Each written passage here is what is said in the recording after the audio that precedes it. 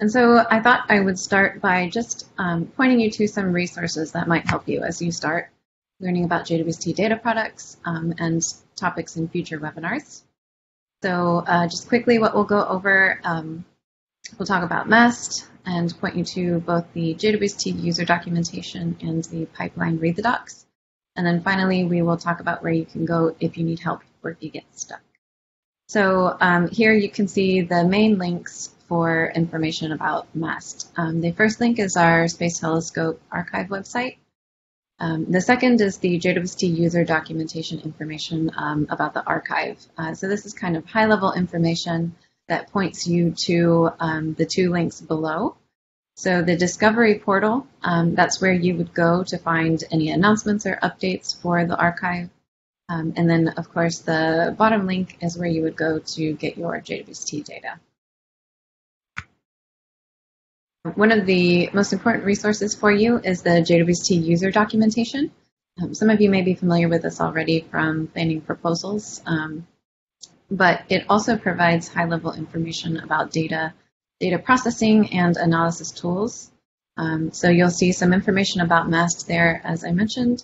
You can also find uh, calibration plans and descriptions, um, uh, high-level information about the calibration pipeline algorithms and the workflows, and then you also have a landing page that points you to all of our data analysis tools and software. If you want more information, you can go to the JWST pipeline read the docs. So this is more software focused documentation about the pipeline. Um, and it's essentially a user manual for those who want to dig into um, the design details or manually run the pipeline. Um, you can find installation instructions there syntax and examples. Um, it also has in-depth details about data products, including JWST associations and calibration reference files, uh, along with the expected inputs and outputs for the different steps, which we'll talk about in more detail. You can also find more detailed descriptions of processing flows.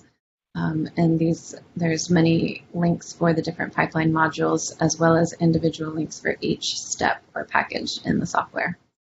Um, and finally, the most important thing about the Read the Docs is that it's continuously updated.